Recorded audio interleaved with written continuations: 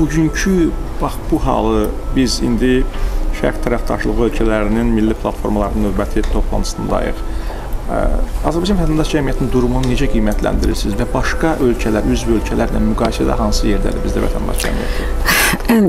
Ən mənim üçün ağırlı olan bir sualdır. Ona görə ki, demək olar ki, 20 ildən yuxarı vətəndaş cəmiyyəti deyəm, təşkilat rəhbəriyəm və axırıncı son 4 ildə Azərbaycan vətəndaş cəmiyyətinin təzyiqlər, onların fəaliyyətində olan məhdudiyyətlər, onların üzləşdikləri çətinliklər heç vaxt olmamışdı.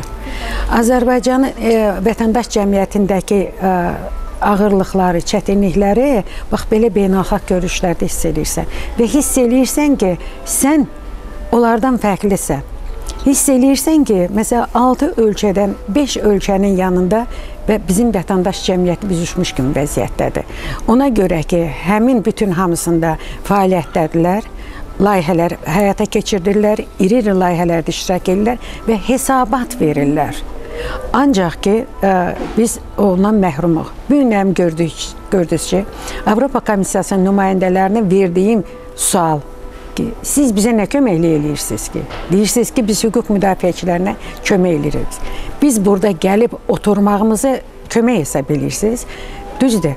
Gəlirsən, nəsə öyrənirsən, fikri bir üzbəüz deyirsən, bu özün dialoqunda bir formasıdır və çatdırırsan ki, ikili standart olmaz ölkəyə qarşı, vətəndaş cəmiyyətinə qarşı diskriminasiya olmaz, əsaslandıracağam indi. Və xahiş edirəm buna son qoy. İkili standartlarda baxın e, e, seçkilərdə Azərbaycan bir qrupada təmsil oldu Sabit Bağırov və hiss elədim ki, mənə demokratiyadan dərs deyən Avropalılar özləri demokratik qaydaları pozurlar və mən buna geniş bir müzakirəsinə səbəb olmasını istəmirəm və burada da ə, e, bir növ e, qeyri şəffaf seçkilərdən danışanlarda bəzən neqativ hallara rast gəlirsən. Bu tamamilə başqa bir mövzudur. Buna da səbəb bizim fəaliyyət göstərə bilməməyimizdir fəaliyyətsiz bir qurumlara çevrilməyimizdir. Ölkəmiz üzrə hesabat verə bilmirik. Hesabatlar gedib bir mənalı insan hüquqlarının pozulması ilə əlaqədir və belə beynəlxalq konfranslarda Azərbaycan barədə söylənən neqativ fikirlərə əksdə çıxa bilmirsən və özünü çox yararsız vəziyyətdə hiss edirsən. Durumumuz. Aha. Durumumuz qurumumuzda? Bilirsən ki, 14-cü ildə ə, qanun qəbul olundu. Çox bir dəhşətli bir qanun idi və o qanunu qəbul edib heç bir dəyişiklik də edə bilmirlər. Belə bir söhbət gəzdi ki, 16-cı ildə müəyyən dəyişikliklər bu şeydir, o dəyişiklikdir. Yəni ki, qrant müqaviləsini servis kontraktından əlavə eləmək bu QHT-yə aid deyil. Bu sifarişli padrat müqavilədir. Bu çox gülünc dəyişiklikdir. İndi bax məsəl üçün bir təşkilat olaraq bizim hələ ki köhnə layihəmiz qalıb, vaxtında bildiriş verməyən o o davam edir. O qutaran kimi təşkilatın fəaliyyəti dayanacaq. Başqa şəffaf Azərbaycan artıq e, saxlayıb. Sabit bəydə problem var. Yəni ki, e, şuranın verdiyi o xırda layihələr o vətəndaş cəmiyyətinin inkişafı deyil. 3000, 5000lik layihə ilə layihə həyata keçirmək mümkün deyil. İmitasiya alınır. Əgər şuranın verdiyi layihələr bunu heç kəs özünə irad tutmasın, büdcədə verilən puldur. Heç kimin cibindən gedən deyil, büdcədən ayrılan vətəndaşdır. QHT-lərə heç olmasa 20 min manatlıq olsa, ortaya nəticə, təklif, dəyişiklik təklif eləyə bilər. Sadəcə getdin o rayonda şəkil çəkdirdin, gəldin, seminar keçirdin. Bundan eləmək olmaz. Verilən ə, e, həyata keçirilən layihələrin o qədər də əhəmiyyətini görmürəm. Nəticələri görmürəm. Mən istəyərdim ki, verilən layihələr nəticəli olsun. Vətəndaş cəmiyyətinin inkişafına, ölkəmiz üçün yararlı olsun. Sizin fəaliyyətinizdə, şəxsən təşkilatın fəaliyyətini göstərsək, 2014-cü ilə qədərki fəaliyyət və ondan sonrakı fəaliyyətdə Yəni belə deyək ki, e, işçi heyətinin itirilməsi baxımından, imkanların zəifləməsi baxımından deqradasiya şübhəsiz ki, müşahidə olunur. Əlbəttə ki. Biz 14-cü ilə kimi birinci fəaliyyətimizdə ictimai nəzarətdir. Biz ə, deməli müxtəlif milli fəaliyyət planlarının müəyyən maddələrinin, bəndlərinin monitorinqini aparırdıq. Neftdən ayrılan, neft fondundan, neftdən əldə olunan gəlirlər hesabına reallaşdıran layihələrin monitorinqini aparırdıq. Genderlə əlaqədar layihələr keçirdi və ən əsas istiqamətimiz insan hüquqları idi. Hasilat sənayesində ə, çalışan ə, işçilərin hüquqlarının, əmək qanunvericiliyinin icrasına nəzarət idi. Amma indi yalnız bir layihədə ilişib qalmışıq hansı ki köhnə layihə idi və köhnə layihəni davam edir. Böyük uğurlar əldə edirik. Yəni bu layihə qutarandan sonra o uğur görsənməyəcək. Baxın, o layihədə bir ildə demək olar ki 70 ərizə məhkəmə olur. 1000-1200 e, müraciət olur. E, məhkəmə proseslərində 50-60%-ni uduruq. Şuradan aldığımız kiçik bir layihədir. E, onu da qeyd edeyim ki, ona görə bəzi yerlərdən bizi ə, çox qınadılar ki, o güya ki hökumət tərəfindən bizə rüşvət kimi verilir. Həmin o rüşvət adlanan 8000 məbləğində layihədə ə, ə, mədən sənayesinin şəffaflıq prosesinə qoşulmuş şirkətlərin reytinq cədvəlini eləmişik. Hesabatların, şirkət hesabatlarının standartlara uyğunluğunun analizini eləmişik. YouTube-da e, e, e, qoyulmuş bir e, video sujet var orada. O video e, Sabit bəyin iqtisadi forumunda müzakirə olunub. E, bu orada həmin e, ekspert yazıları müzakirə olunub. İctimai radioda dinlənilib orada e, və e, disk yazılacaq, diskə yazılacaq və bütün şirkətə paylanacaq. Amma baxın, əgər bizdə o birisi layihə olmasaydı, o qiymətə biz o layihəni reallaşdıra bilməzdik. Yəni əldə olunmuş nəticələri sadəcə bu layihə ilə ümumiləşdirmisiniz. Ümumiləşdirmişik ki, orada onun çünki hə, deməli 200 manat koordinatora əmək haqqı verirlər. Bu sadəcə bir biabırçılıqdır. Bu ə, verilən vəsaitlə ofis saxlamaq olmaz, internet saxlamaq olmaz. Yəni ki, tək 8000 başqa bir layihəsiz ortaya nəticə qoymaq çox ağır bir prosesdir. Və ə, e, düşünürəm ki, Azərbaycan hökuməti təzədən bu qanuna baxmasalar, vəziyyət olduqca ağırlaşacaq. Ölkədə pioner komsomol təşkilatları yaranacaq volontyorlar kimi ki, sadəcə deyəcəklər ki, nə olsa yaşasın. Amma beynəlxalq konfranslarda isə Azərbaycan imici yavaş-yavaş aşağı düşəcək. Bəs ümid varmı bax bu kontekstdə, proseslərin inkişafı kontekstində e, belə deyək, son zamanlar baş verən hər hansı dəyişikliklər kontekstində ki, Azərbaycan vətəndaş cəmiyyəti üçün yəni bu yaradılmış mühitlə bağlı vəziyyət heç olmasa müəyyən qədər yaxşılaşa bilər. Belə bir hər hansı formada baş verən proseslərdən, olan tendensiyalardan nəticə çıxartmaq mümkündürmü sizcə? Bilirsiniz, baxır o sahədə çalışan insanların özünün marağına, dəyişikliyin olmasını çalışan insanların marağını. Məsəl üçün bilirsiniz ki, açıq hökumətlə bağlı bizim platforma var. O platformada qarşı tərəfdə hökumət dövlət nümayəndələri olur. Orada gedən müzakirələrdə o dövlət nümayəndə ya da parlament üzvlərinin onu nə dərəcədə qarşılamasından dövlət ə, qurumlarının nümayəndələri, məmurların çoxsu imic haqqında ə, fikir formalaşmayıb. Onların çoxsunun beynəlxalq aləmdən, Azərbaycanın beynəlxalq aləmdəki fəaliyyətindən çoxsunun xəbəri yoxdur. O, qanun dəyişilib, onlar çox məmnundular. Ona görə məmnundular ki, bu gün vətəndaş cəmiyyəti onlar haqqında yazmır. Monitorinqlər aparmır. Və ə, onlar üçün vətəndaş cəmiyyətinin olub-olmamasının mənası yoxdur.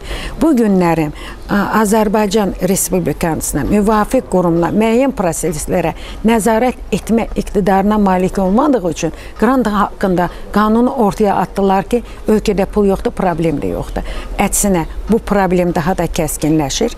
Ona görə ki, QHT-lərin bəziləri çalışırlar ki, saxlasınlar özlərin müəyyən sülalatını. Bu da çox çətinlik törədəcək. Gələcəkdə Azərbaycan vətəndaş cəmiyyətinə böyük zərbə vuracaq.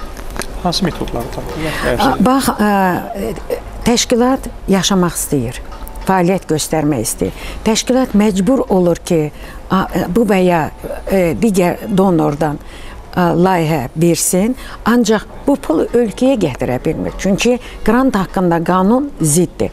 Məcbur olur ki, müəyyən vasitə ilə qrantı ölkəyə gətirsin.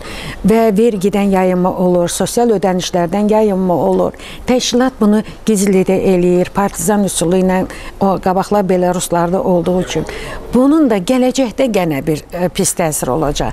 Həmin pulu təşkilat açıq yolla gətirsəydi ölkəmizə, ölkəmizin inkişafına da, vətəndaş cəmiyyətinə də böyük kömək olar. Məsəl üçün, bax biz leqal yolla fəaliyyət göstəririk. Parlamentə əmək qanunvericiliyinin dəyişilməsinə əlaqədar təklif vermişik, indi onun vəkilliyini eləyirik. Hüquq müdafiəçiləri məhkəmələrdə insanlara kömək eləyə bilərdi. Ölkə ilə gedən hesabatlar açıq-aşkar gedərdi. Müzakirələr aparılardı. Cəmiyyətin müzakirəsinə verilərdi. İndi həmin qeyri-legal puldan qeyri-legal hesabatlar gedir. Və ölkədə müzakirə olmur ki, bunun hansının düz olduğunu, hansının səhv olduğunu cəmiyyət desin. Adicə e, siyasi məhbus siyahılarından 3 siyasi məhbus siyahısı var. Onun cəmiyyəti müzakirəsini olsaydı, ölkədə legal olma, müzakirələr geçsəydi, radioda, televizorda keçirsəydi, ortaya reallıq çıxardı. Və Bu özü də Azərbaycanın imicinin qalxmasında böyük rol oynaya bilərdi. Bəlkə o siyasi məhbus yazıları düz deyil. Çünki sadəcə yazılılar göndərirlər. Məsələn üçün eləsi var ki, mən özüm düzdür, razı deyirəm ki, bu adamlar bu gün hökumətdən küsmüş adamları siyahıya salmaq məsəl üçün və s. belə şeylər olur. Və düşünürəm ki, bax belə qeyri-leqalla pulla ə, gələn ə, fəaliyyətin nəticəsində ortaya çıxan hesabatlar özü bir tərəfli olduğundan qarşı tərəfin fikri alınmadığından bu jurnalistikada da var. E, bəzi beynəlxalq qurumlar üçün bu əlverişli olduğundan və Azərbaycana qarşı münasibətin korlanmasına səbəb olur. Mən e, çox iyində vurğuladınız ki, Azərbaycan vətəndaş cəmiyyətinin problemlərinin olması və bir e, Azərbaycan hökumətinə müəyyən qədər yaxın hesab oluna biləcək qeyri-hökumət təşkilatlarının birinin təmsilçisinin bir müsahibəsini oxumuşdum bir müddət əvvəl və oradan e, xülasəsini desəm belə bir ton hiss olunurdu Hı -hı. ki, hazırki durumdan biz də çox narazıyıq. Çünki e, o qeyri-hökumət təşkilatları ki, Azərbaycan hökumətinin müəyyən sahədə lobbiçiliyini aparırdılar və yaxşı vəsaitlər də qazana bilirdilər. E, qrantlar əldə edir həm yerli, həm beynəlxalq səviyyədə. İndi artıq bu qapı bunlar üçün də bağlanıbdı.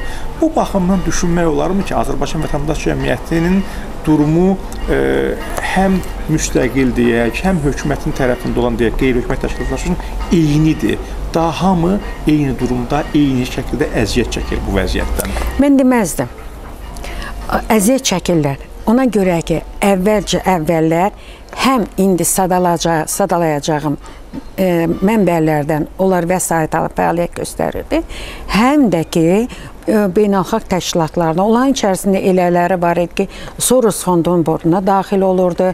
Elələri var idi ki, bizdən də çox qrant alırdılar xaricdən və onlar öz təşkilatlarını yaşadırdılar və o cümlədən də həmin ölkənin hakimiyyətinə sərf eləyən var e, variantda da fəaliyyət də göstərirlər. Bir sözlə nə şiş yansın, nə kebab. Onların mənbələrindən biri bilirsiniz ki, ölkədə e, müxtəlif nazirliklərin ictimai komitələr var. Onlar ictimai komitələrdə fəaliyyət də göstərirlər. Müxtəlif e, sosial sifarişlər də olur. Məsəl üçün şuradan da alırlar. Bir növ onlar özlərini yaşada bilirlər. Amma əvvəllər məhz ə, qrant haqqında qanun təsdiq olunan sonra onlar haykü ilə pisləməyə başladılar ki, QHT-lər milyonları gəlirdi, villaları var idi və s. var idi. Onlarda əyrilik var idi. İndi o yaddan çıxıb. Və onlar da hiss eləyirlər ki, bu tək ə, müstəqil QHT-lər vurmadı. Onlar da get-gedə əriyəcəklər və onlar da yoxa çıxacaqlar. Mən heç kəsin əvəzindən and içə bilmərəm ki, hamı şəffaf xərcləyirmi? Hamı e, vergisini ödəyirmi? Bu işləyə bilməyən müvafiq dövlət qurumlarının buraxdığı səhvlərdir. Əgər həmin dövlət qurumları sonradan ayrılıblar ki, QHD-lə vergi vermirlər, deməli həmin dövlət qurumları özləri də cəzalanmalı idi. O onların günahıdır. QHD-lərin günahı yoxdur. Nəzarətin olmayıb ona görə. Amma o birisilər ki, hansı ki, ə, əvvəl ə, hamısı əlçarda bu yaxşı münasibəti və sonra gördülər ki, yox, onlar da məhv olurlar. Onların da sonu çatır və indi ayılıblar, o da gecdir. Azərbaycanın müstəqil, peşəkar ə, hüquq müdafiəçiləri, ə, vətəndaş cəmiyyəti nümayəndələri yavaş-yavaş çəkilir və yerinə hələ puxtələşməmiş təcrübəsi olmayan və çalışırlar ki, hökuməti yaradacaq, yaradacaq hesabatlar tərtib etməyə çalışan bir insanlar ki, onların da yaşayış olmayacaq, onlar da beynəlxalq e, təşkilatlar qəbul eləməyəcəklər. Və yenə son nəticəsi də ölkəmizin, dövlətimizin imicinə ziyandır. Amma mən düşünürəm ki, dövlət zamanında düşünməlidir ki, əgər harda güclü vətəndaş cəmiyyəti var, orada güclü dövlət var. Güclü ölkədir harda demokratiyanı inkişaf elətdirən vətəndaş cəmiyyətidir. Azad mətbuatı bax nə vəziyyətdir. Azad mətbuatımız yoxdur. Çəkilib. E, müxalifət zəif vəziyyətdədir. QHT-lər yavaş-yavaş e, sıradan çıxır. Boş qalmış meydana kim gəlir? Radikal dindarlar. dindarlar. Bu isə ən təhlükəli bir amildir və bu son hadisələrdəki yəqin mətbuatda oxuyur, bu yavaş yavaş buna gedir. Dövlət imicini qorumaq istəyən, dövlətçiliyimizə sadiq qalmalı insanlar, hakimiyyət fikirləşməlidir. Bax, o üç bucağı fikirləşməlidir. Üç bucağın içərisində boş qalmış meydanı fikirləşməlidir. Siz Azad Mediadan danışdı, danışdınız.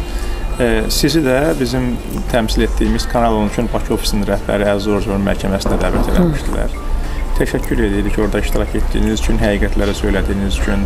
E, nə soruşdular sizdən? Nə dedilər? E, nəyə aydınlıq gətirmək istəyirlər məhkəmədə? Kanal 13-lə ölkədə deyilsən, Kanal 13-lə biz layihə çərçivəsində maarifləndirmə, məlumatlandırma apardı və müqavilə əsasında bir yandan ki, prokuratura zamanında bizi yoxlayıb xeyli bizim bilik bacarıqlarımızı artırıb sənədləşdirmə çox dəqiq gedir və 4 ə, müqavilə var idi. Kiçik qiymətləndirməklə mədən sənədə şəffaflıq ictimailəşdirməkdə. Əhalinin məlumatlandırılması. Mən hakimin özünə də dedim ki, əsas bu olur ki, sizə müraciət eləyən az oldu. Və vəkillər də sual verdi. Müqavilə ilə əlaqədar izahatlar verdim, vergilərlə əlaqədar qəbzləri göstərdim, ödənişləri, bütün hamısı yerində idi və əsasən soruşurdular ki, Qafqaz Media Mərkəzi. Mən Kanal 13 ilə işləyirdim və tanıdığım da əziz idi və bu barədə soruşdular və maraqlı gəldi ki, internet TV. Mən dedim ki, Azərbaycan TV-ləri bizlə müqavilə bağlasaydı, məsələn, İctimai TV əslində bizlə işləməyidir, İctimai TV-dir. Mən məmnuniyyətlə ə, verərdim, ə, ə, ödəniş eləyərdim ki, biz orada çıxış eləyək. Bizi buraxmırlar, ictimai TV-lərə buraxmırlar. Və e, çox yaxşıdır ki, bu dəqiqə həm Kanal 13 həmişə nüfuzlu bir internet TV olub, baxanı var. Həm məlum e, həmin verilişdə YouTube-dan da başqa bizim saytda da var. Hakimiyyətə dedim ki, siz istənilən vaxtda həmin linki açıb baxa bilərsiniz və sual ver nə qədər çox adam baxır. Məsəl üçün bizdə saytımıza bir il müddətində 5 minə yaxın adam baxır və o videolarda baxır, həmişə daimi baxılandır. Buna əlavə biz həmin verilişləri təşkilatın Facebook səhifəsinə, öz səhifəmdə yerləşdirirəm ki, e, çalışırıq ki, insanlar heç olmasa öz hüquqlarını öyrənə bilsinlər. Və bu, yöndə izahat verdim e, və düşünürəm ki, reallığıdır, həqiqəti dedim. Və e, hesab edirəm ki, məhz Əzizin orada həbs olunması düz deyil. Bu özü də Azərbaycanın Azərbaycan hökumətinə, Azərbaycan dövlətinə vurulan ziyanlardan biridir. Və Kanal 13-dən əməkdaşlığınızdan e, narazı qalmamısınız. Nə danışırsan? Kanal 13 əgər fəaliyyətini davam etdirərsə, mən yenə məmnuniyyətlə orada çıxış edib e, çalışacağam ki, ə, insanlar ə, məlumatlansınlar, bəhrəni görsünlər, reallığı anlasınlar və ə, 13-cü ildə məhz Kanal 13-ün çəkdiyi cinsi qısnaqla əlaqədar bir video çəkilişi orada da e, qadınların müdafiəsində böyük rol oynamışdı. İnternet TV-ni çox yaxşı bilməlidirlər ki, əhəmiyyəti indi dövlət TV-sindən yaxud ictimai TV-dən daha çoxdur. Çünki əsasən insanların tələbinə uyğun yox, sosial sifariş əsasında yox, sadəcə bəzən çox vaxt düşük verilişlər verirlər. Mənə isə lazımdır ki, e, bir nəfərin də maarifləndirməsi mənim üçün böyük əhəmiyyət kəsb edir. Çox sağ olun Mübarək xanım. Bir sual da verim bu sonda. E, bu yaxınlarda mətbuatdan izlədik. Deməli bu Salyan oyunla bağlı belə bir e, hadisə baş vermişdi. İşçilərin maaşının azaldılması və məhkəmədə Azərbaycanlı hüquqşünas səhv etmirəmsə demişdi ki, siz Bəli. bir Çinlinin çörəyini yeyirsiniz. Salyan Oil bu bir Azərbaycan ərazisinin adını daşıyan bir neft şirkətidir. Azərbaycan neftinin çıxarılmasından söhbət gedir. Azərbaycanlı işçilərin əmək haqqının azaldılmasından, hüquqlarının pozulmasından söhbət gedir. Amma Azərbaycan məhkəməsinə səslənir ki, bir Çinlinin çörəyini yeyirsiniz. Bunu şərh etsəniz nə deyərdiniz? Bu qudurğanlıqdır. Bu cəzasızlıqdır. Bu haqqını yerini e, bizim e, Sokar tərəfindən onlara göstərilməmədir. İnsanları e, biz bilirsiniz ki, Azərbaycanda həmkarlar təşkilatı var və mən o həmkarlar təşkilatının fəaliyyətinə razı deyiləm. Məhz həmin insanları işdən çıxarırlar, kollektiv işçi ilə, işçilər adına həmkarlar təşkilatına işə götürülən arasına bağlanmış müqavilə əsasən. Orada yazıblar ki, insanlar, işçilər təqaüd yaşına çatanda işdən çıxarılsın. Bu isə tamamilə əmək qanunvericiliyinə ziddir. Əmək qanunca kollektiv müqavilələr haqqında qanuna ziddir. Baxmayaraq ki, hüquqşünas özü bu funksiya nəzarət eləyib. Qanunu pozmağı cəhənnəmə hələ məhkəmə salonunda daxil olub Orada qadın olub ikisi. Deyib ki, e, sənin başına oyun açaram, səni prokuraturaya verərəm. Deyib ki, siz e, e, bizim şirkətin Çinlilərin çörəyini yeyib yediniz qaba tüpürürsünüz. Gələn dəfə məhkəmədə mən gedib ona qaba tüpürməyi də öyrədəcəm. Tək o deyil. A, mən bir ə, sual vermədiyiniz bir sahəyə də toxunmaq istəyərdim. Bu yaxınlarda mən yerləşdim. Amek şirkətinin Azərbaycana vurduğu 350 milyon ə, ə, funt sterlin dollar haqqında məlumatı. Siz bilirsiniz ki, Avropa qəzetləri ə, mütəmmədi Böyük Britaniya qəzetləri Azərbaycan haqqında vaxtaşırı məqalələr yazır. Və biz Ameki qabaqda Eci Greyni, Amik haqqında, Boşev haqqında çoxlu informasiyalar yazırdıq 96-cı ildən bəri. Burada Amikin Azərbaycana vurduğu ziyanı niyə həmin ə, Böyük Britaniya qəzetləri yazmırlar? Ona görə ki, o 350 milyon Londona gedir. Böyük Britaniyaya gedir. Ə, və yenə qayıdacağam ə, vətəndaş cəmiyyətinə. Əli. Bu gün sabah mənim layihəm qutaranda mən nə o salyan oil ya sokardan ə, kütləvi surətdə iş- çıxarılan işçiləri, yaxud da ki, ə, ə, təhlükəsizlik, təhlükəsiz iş şəraiti yaradılmadığı üçün çoxlu sayda olan işçilərin hüquqlarını mən qoruya bilməyəcəm. Bax burada da həm ölkəmə vurulan ziyan xarici şirkətlərin, həm bizim insanlarımıza, işçilərimizə vurulan ziyanı, həm bizim nefti aparıb bizə e, ziyan vuran bu e, işə götürənlərdən öz işçilərimizi müdafiə edə bilməyəcəm. Və Azərbaycan düşünməlidir ki, hökuməti yenə qayıdıram ilk başladığımız mövzuya. İşçisinin də, millətinin də, sərvətinin də qədrini bilməlidir ki, buna ictimai nəzarət edən bilməlidir ki, və bunu ə, etmək üçün də bu ictimai nəzarəti formalaşdıran vətəndaş cəmiyyətinə dəstək olmalıdır və qrant haqqında qanuna yenidən baxmalıdır. Çox sağ olun Mübarək xanım. Çox təşəkkür edirik. Allah sizdən razı olsun. Çox maraqlı bə- müsahibə verdiniz və inşallah növbəti günlərdə kanalınızda yayımlanacaq.